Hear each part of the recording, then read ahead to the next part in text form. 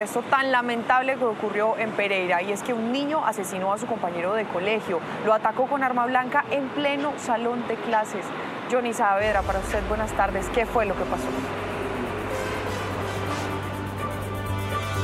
Hola, ¿qué tal? Muy buenas tardes. Una noticia muy lamentable esta en un hecho de intolerancia a un menor de 14 años en pleno salón de clases frente a sus compañeros y su profesora. Atacó a un menor de 13 años con un arma blanca. Este joven fue llevado a un centro asistencial, pero lastimosamente ya había fallecido. Según las investigaciones, el presunto agresor de 14 años se levantó de su puesto y delante de sus compañeros y la profesora que dictaba la clase le causó una herida en el cuello a su compañero de 13 años, quien fue trasladado a un centro asistencial donde llegó sin signos vitales.